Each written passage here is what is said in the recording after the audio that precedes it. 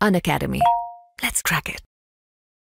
नमस्कार दोस्तों पाथफाइंडर पर आप सभी का स्वागत है मेरा नाम निधि है दोस्तों, अभी हाल ही में हमारी फाइनेंस मिनिस्टर निर्मला सीतारमन जी ने आशा वर्कर्स और आंगनवाड़ी वर्कर्स और हेल्पर्स को आयुष्मान भारत जो स्कीम है, उसमें सम्मिलित करने की बात की थी कि इसमें इनको शामिल किया जाएगा, इनके परिवारों को शामिल किया जाएगा, जिसके बाद से सरकार को एक बड़ी संख्या में आधार कार्ड डिटेल्स पहुँची हैं, मिली हैं, जहाँ पर ये आंगनवाड़ी वर्कर्स हेल्पर्स और आशा जो वर्कर्स हैं, उन्होंने अपने आप को रजिस्टर करने के लिए पहल की है।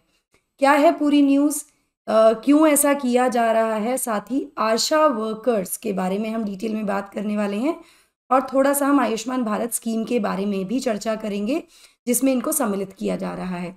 चलिए शुरुआत करते हैं with the news. So, central government ने अनाउंस किया था अपना ये डिसीज़न टू कि वो इंक्लूड करेंगे accredit social health activist ASHAs and anganwadi workers and helpers into the free cover for health treatment Ayushman Bharat scheme क्या है? वो एक्चुअली एक फ्री इंश्योरेंस कवर है। उसमें इनको इंक्लूड किया जाएगा। इसके बाद से, इस अनाउंसमेंट के बाद से ही जो कि किया गया था हमारी फाइनेंस मिनिस्टर के बाद हेल्थ मिनिस्ट्री को अभी तक आधार डिटेल्स रिसीव हुई हैं। लगभग तेईस लाख आंगनवाड़ी वर्कर्स और हेल्पर्स की और लगभग तीन लाख से ज़्यादा आशा वर्कर्स की फ्रॉम वेरियस स्टेट्स तो आगे बढ़कर इस यू नो स्कीम में हिस्सा बनने के लिए जो आंगनवाड़ी वर्कर्स हैं, जो आशा वर्कर्स हैं, उन्होंने अपने आधार कार्ड को सबमिट करना डिटेल देना शुरू कर दिया है। ठीक है? Ayushman Bharat Pradhan Mantri Jan Arogya Yojana A B P M J A Y ये प्रोवाइड करती है health cover of rupees five lakh of family per year जो कि पुअर और वलनरेबल फैमिलीज़ को दिया जाता है। और ये जो डिसीज़न था to include this group of health workers इसको अनाउंस किया गया था हमारी फाइनेंस मिनिस्टर के द्वारा during the presentation of interim budget twenty four twenty five ठीक है, हम जानते हैं इसके बारे में और देखा भी था, हमने बजट हाईलाइट्स में भी देखा होगा। आज के सेशन में हम डिटेल में आशा वर्कर्स के बारे में और आयुष्मान भारत जो ये योजना है, इसके बारे में बात करेंगे।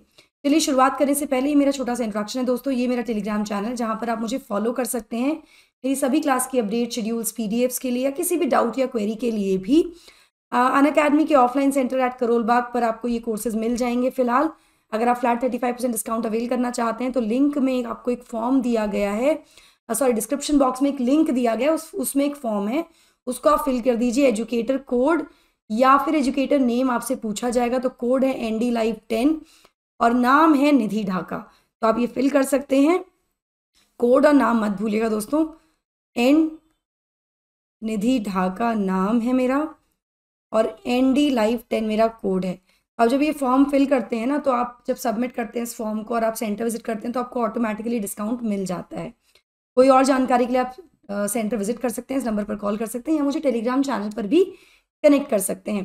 मुखर्जी नगर सेंटर में भी ये कोर्सेज शुरू हो गए हैं again to avail the best discount आपको फॉर्म फिल करना होगा। कोई और जानकारी के लिए इस नंबर पर कॉल कर सकते हैं सेंटर विज़िट कर सकते हैं।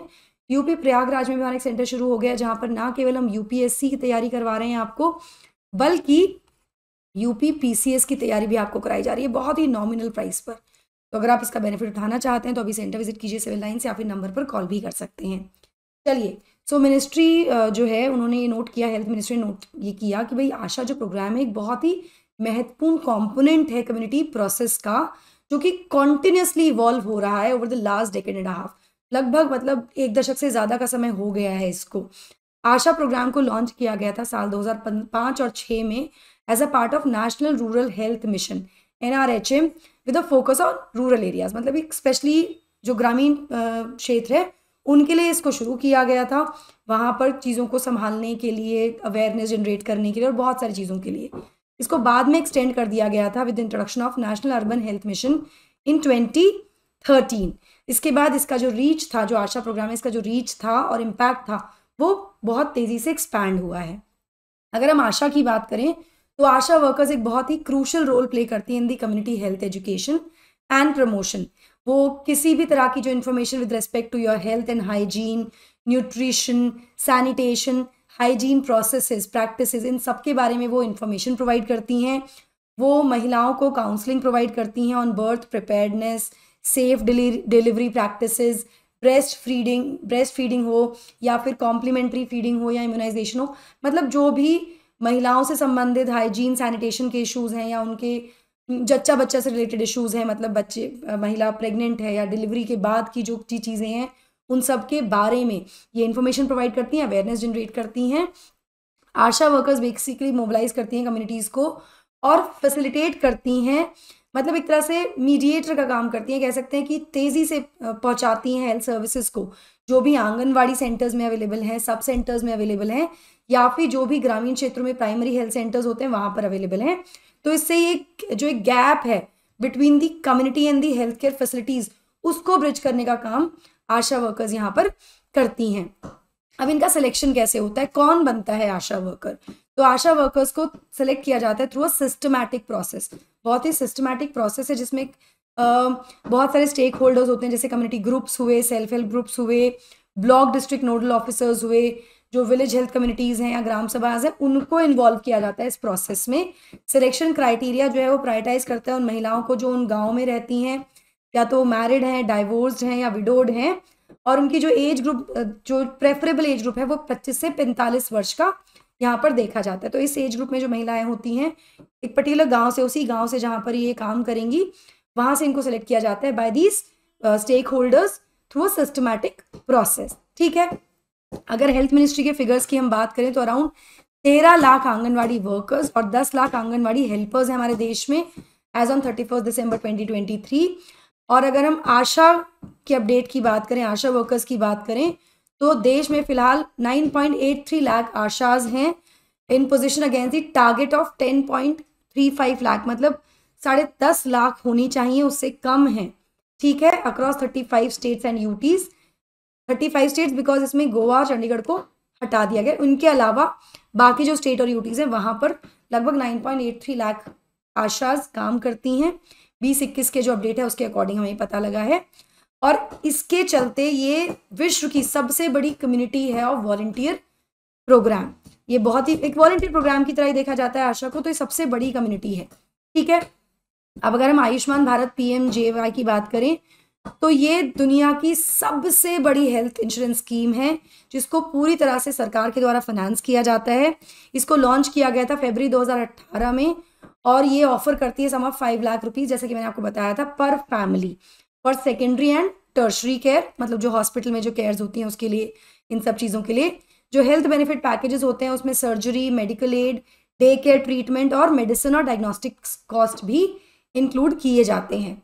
भारत में फ़िलहाल पचपन करोड़ ऐसे लोग हैं जो बारह करोड़ फैमिलीज़ से आते हैं जो कवर्ड है अंडर आयुष्मान भारत स्कीम ठीक है, अब इसमें आशा जो वर्कर्स हैं या जो आंगनवाड़ी वर्कर्स और हेल्पर्स हैं, उनको भी इंक्लूड किया जाएगा according to the recent announcement made by the finance minister ठीक है? चलिए।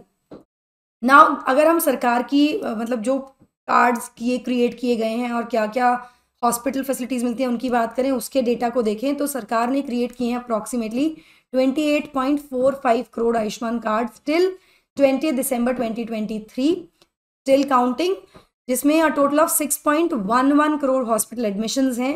जिनकी कॉस्टिंग है around seventy eight point seventy eight thousand one hundred eighty eight crore जो कि ऑथराइज किए गए हैं अंडर द स्कीम जिसमें से one point seven crore hospital admission worth rupees पच्चीस हज़ार crore have been authorise during twenty three जनवरी से दिसंबर 2023 तक। ये पिछले साल का है और ये ओवरऑल जब से स्कीम स्टार्ट हुई है 2018 से। तो हम देख रहे हैं कि काफ़ी ज़्यादा इसमें कवरेज दिया गया एक तरह से हम कह सकते हैं कि हेल्थ सोशल सिक्योरिटी के परिप्रेक्ष्य में ये बहुत ही महत्वपूर्ण एक योजना है जो सरकार के द्वारा शुरू की गई थी। अब इसमें आंगनवाड़ी वर्कर्स और आशा जो वर्कर्स हैं, उनको इंक्लूड करके उनको भी एक तरह से हम health security social security provide करने की तरफ़ सरकार कदम बढ़ा रही है। चलिए ऑफलाइन सेंटर्स की बात करें, दोस्तों, आपको ये सारी फैसिलिटीज़ मिल जाती हैं, जैसे फ्री डेमो क्लासेस मिलती है offline current affair classes one on one mentorship educated doubt solving sessions free magazine library and wifi facility भी आपको यहाँ मिलती है। आप सेंटर विज़िट कर सकते हैं with my code N D live ten या फिर आप मेरा नाम भी बता सकते हैं निधि ढाका टू दी जहाँ भी आप काउंसिल से मिलते हैं सेंटर में तो आपको पूरा तरह से गाइड कर देंगे इस पूरे प्रोसेस के लिए, ठीक है? That will be all from my side I hope you like the session do not forget to like share and subscribe to the channel and also the bell icon so that you get notification about the latest updates thank you so much God bless take care bye bye